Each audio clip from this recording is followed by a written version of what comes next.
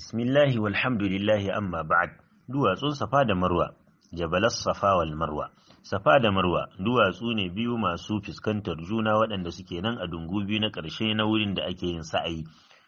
Kusa da masallacin harami. Kuma duwatsun alamomi ne biyu shahararru da suke alamta aikin sa'ayi a lokacin hajji ko umra. Ita kalmar safa jam'i ce na safatun wadda take da ma'anar dutse sandararre mai sheki. Marwa kuma tilo ce na kalmar maru wanda ita ce dutse fari wanda za a iya kyasta wuta da shi. Kuma zagaye bakwai na sa'ayi suna farawa ne da dutsen safa sai su kare a jikin dutsen marwa. Domin annabi sallallahu alaihi wasallam ya kusanci dutsen safa sai ya karanta inna safa wal marwata min sha'airillah sa'an nan ya ce ina farawa da abin da Allah ya fara da shi sai ya fara da dutsen safa. Kuma hakika lalle sashin larabawa sun kasance idan suka yi niyya a jahiliya suna yin sa'ayi a tsakanin safa da marwa.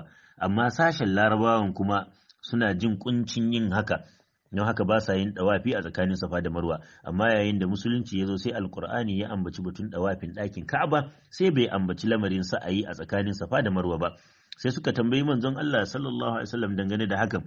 Sai Allah ta'ala ya saukar da faɗin sa lallai duwatsun safa da marwa suna da alamomin addinin Allah. Kuma duk wanda ya yi hajjin ɗaki ko ya zo umra to babu laifi a kansa ya yi ɗawafin su kuma duk wanda ya taɗawu in alheri to lallai Allah mai godiya ne masani wallahu ta'ala alam.